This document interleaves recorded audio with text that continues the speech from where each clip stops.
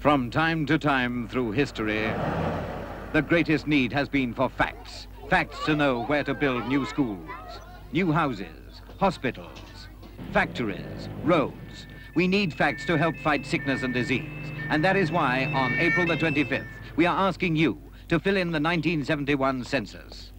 An army of men and women with light blue satchels will deliver and collect them from every household in Britain. With no exceptions.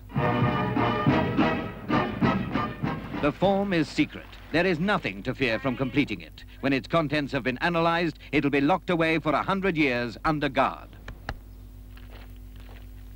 And all these officials are pledged to secrecy.